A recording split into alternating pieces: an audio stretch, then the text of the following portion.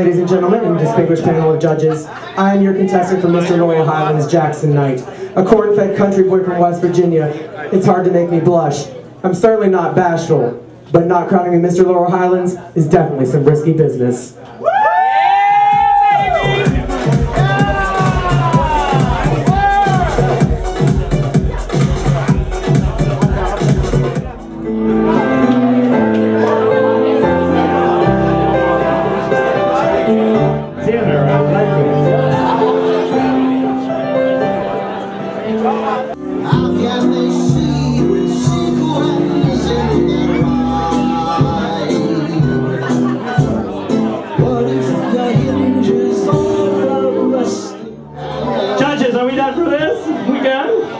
No, they just want to keep looking through your underwear.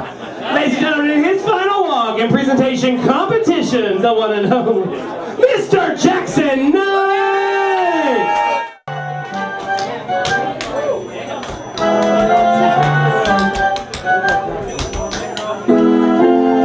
Give up, rise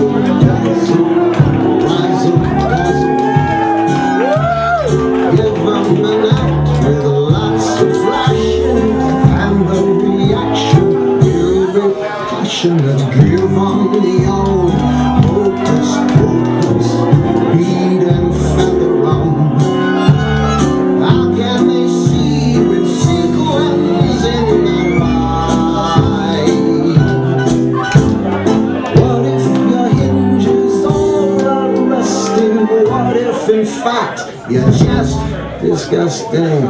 Razzle dazzle them, and they'll never catch wise.